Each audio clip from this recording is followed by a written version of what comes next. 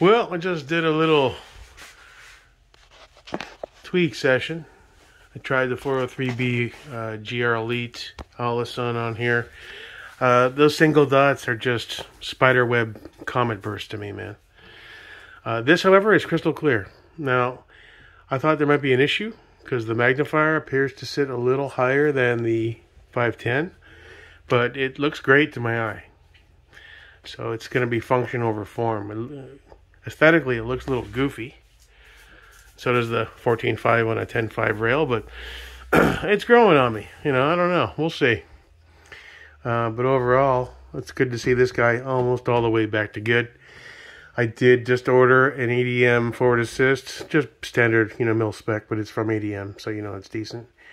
Um, it needs a bolt catch. I have some uh, I have some of the cheap mil spec ping pongs. I figured I'd, just grab another Maritime from Geissele. So that's on the way. springs and detents. I'm getting new springs for all my safeties and my pivot pins. Because during the process of me trying to figure all this out, I've screwed a lot of them up. So I had to trim them. And as a result, safeties aren't as snappy as they should. See how that doesn't really... I mean, it, it works but it's uh, it doesn't click into place. So I'm not getting that snappy because I've trimmed them so much. they don't work. So I'm replacing all the springs and all the rifles that need it.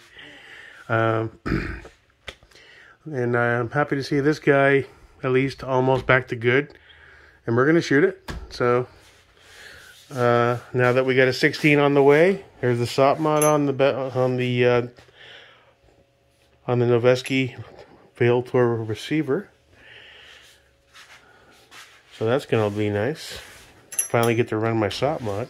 I do have a B5 Bravo as a backup if I want to go a little smaller.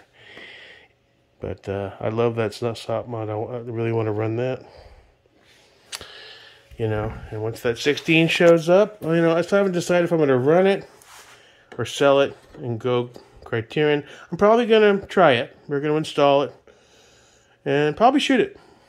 I mean, I got the Sionics BCG in there. It will be 416R stainless. I did, uh, I, I, do have a Nox for it. Uh, I was going to put the Nox on the Suns. I'm, I'm going to leave that uh, A2 on there for now. So, and we'll play it by ear. So we're this close to be, uh, have this the way I want it. I'm just going to probably run that barrel. It's a good barrel. It's not the best in the world, but it's not garbage either. And I think it's worth a try. I got a good deal on it. There's no point just giving up for the sake of wanting to have a Gucci barrel criterion. So eventually I'll get one of those bad boys, but I'm, I'm, I'm going to try it. And I think it's going to work out pretty well for me. All right. That's it. Kind of psyched. Barrel uh, has been updated to arrive Wednesday now, not Thursday. So It'll be here a day sooner.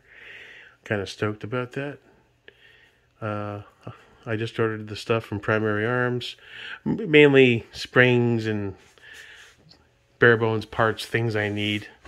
I grabbed another uh, P23 and ODG to either try it on here or swap it over to the Geissele just to have an extra one.